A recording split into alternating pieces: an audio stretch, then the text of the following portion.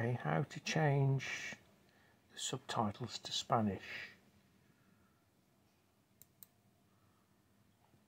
I don't know what's happened. Bit of a nightmare. The smell is really bad. There's water everywhere.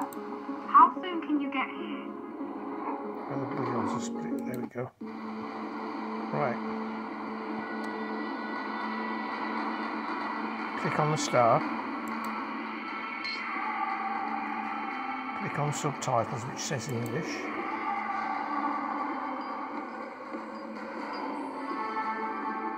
Click down to Spanish. Click on that. And you can see that it now, I hope, translating to Spanish.